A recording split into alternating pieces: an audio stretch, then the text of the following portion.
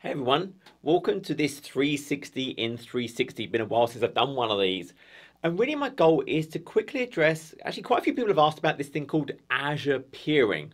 And what exactly is Azure peering? Is it related to ExpressRoute? So I thought a really quick video, we could just kind of uh, tidy this up. As always, if this is useful, please go ahead and give this kind of a like, subscribe, comment and share.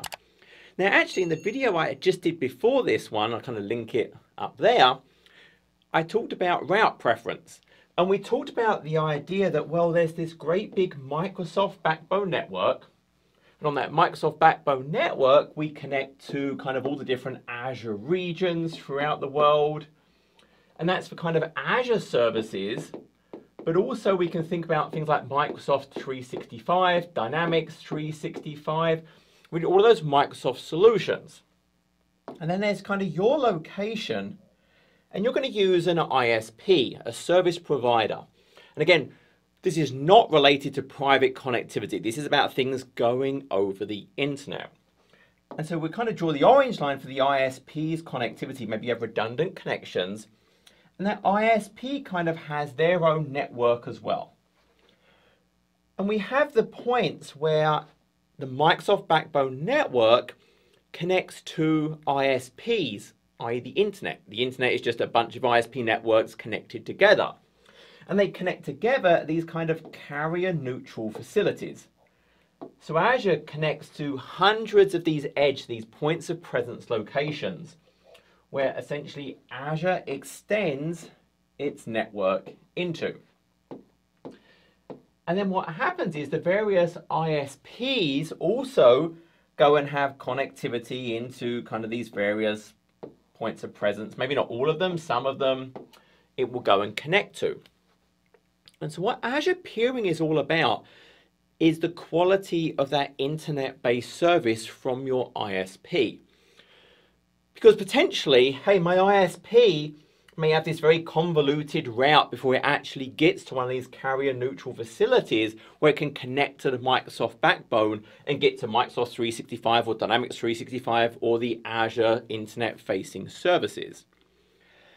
So to avoid that, Azure peering is about a partnership between Microsoft and the selected ISPs that essentially guarantees you're a single hop away from that onboarding to the Microsoft Backbone network. So if you sign up for Azure Peering, and the sign up is actually with your ISP. So the kind of the Azure Peering is really nothing to do with Microsoft. It's a service that your ISP, you will onboard to it through your ISP. Now, there's, there's one um, exception to that, where you would also sign into kind of Azure is there is also the idea of in the Azure portal, you can sign up for the Azure peering as well if you want kind of enhanced latency detection and kind of if you see a degradation in your performance and also alerting around, for example, if there's a BGP pollution attempt. Maybe someone's trying to do something weird um, with the routes that are advertised to try and maybe hijack the connection. And so you at basic level, it's that you sign up with your ISP. Those that are offering it, what will happen is now they will actually create this arrangement and this, this routing with Microsoft, and that routing will now be kind of set in stone. As soon as you sign up for this Azure peering with the ISP, the route your traffic will take is now defined.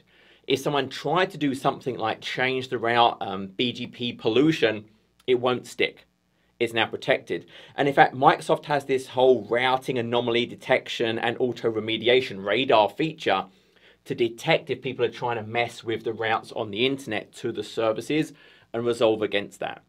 But what Azure Peering is going to do is when you sign up with one of these ISPs that offer the service, you're guaranteed to just be one hop away from one of these backbones that actually connect to the Microsoft network to get to those various services. Now, some of the ISPs will offer a kind of a local redundancy.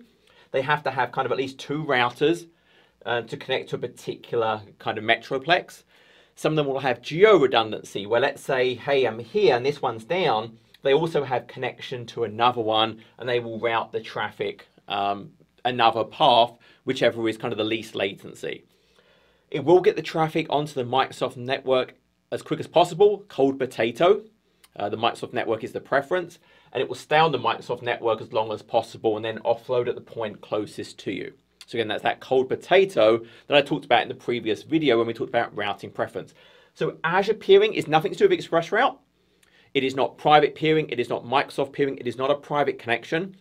Azure peering, and I think the name's a little bit off, is about via your ISP signing up for kind of the premium internet-based experience for connectivity to Microsoft services, be it Azure or Microsoft 365 or Dynamics 365. We can additionally sign up to the portal if we want kind of latency, degradation in performance, BGP pollution attempts. That will actually go to a log analytics workspace where I can see kind of the monitoring, I can see the alerting, etc. So that's Azure Peering. Just about, hey, for those internet-based services, getting the best possible experience um, via those partners. And I'll drop a link in the description to the list of the partners. So you can go and check that out. I hope this was useful. Uh, until next time, take care.